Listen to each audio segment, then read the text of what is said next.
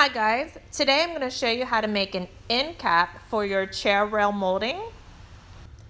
An end cap on chair rail, also called a dead end, is a prettier way to end molding at um, a window frame, a door frame, or even where you just want it to end on a wall and you don't want to continue to the next wall. You can see here how the end cap on that white trim looks better.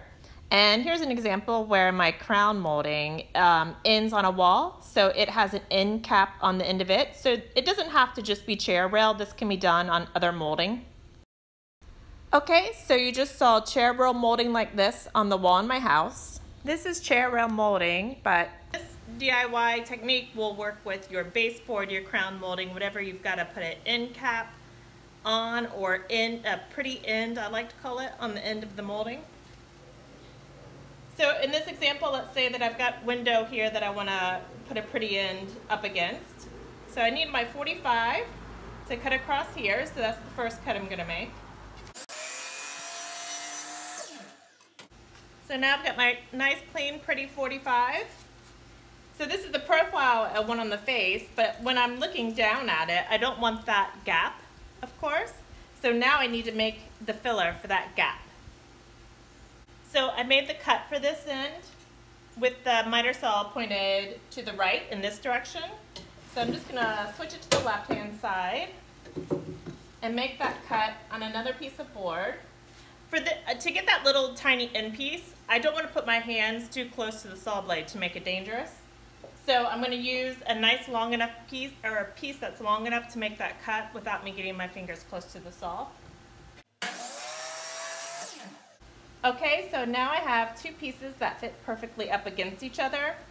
And as you can see, I am gonna wanna make my cut right where that piece meets the wall, or right where this corner is, right where the edge is, so that it doesn't stick too far, uh, or stick back further than this picture frame molding already does, and I don't wanna cut it too short. But I'm just gonna cut it right where that corner is, and it'll make it perfect. So I'm going back to the zero degree,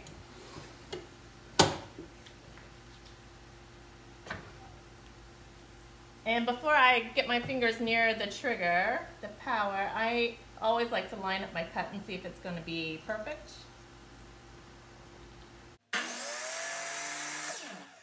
All right, now I have a perfect um, cut that is going to marry or match or end cap this piece here. Um, I do want to say that if this was a smaller piece of molding, this would be a really tiny, easy to break off piece, so just be careful with that. So now you've got a couple options here for attaching this. You could use just regular wood glue and painter's tape to hold it in place while the wood glue dries. Or you could use something like that um, DAP Rapid Fuse wood glue, or um, it's sort of like super glue for woodworking projects. That would be my preference because I like to hurry up and get back to work. Another option is if you have a pin nailer, something with a small gauge nail. You could put in here, but I would be really careful of that, especially with um, the smaller ends. You're gonna easily break that. So I say DAP Rapid Fuse or wood glue and your painter's tape and just let it sit there and dry.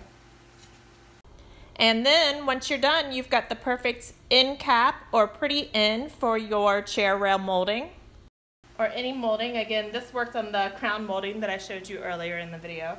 So that's it guys. Once this dries, you are ready to attach it to the wall. If you have um, a little bit of unevenness, once this is already glued together, you can always just come in with your sanding block or little sander and clean up that edge and make it look perfectly clean. All right, good luck with your project.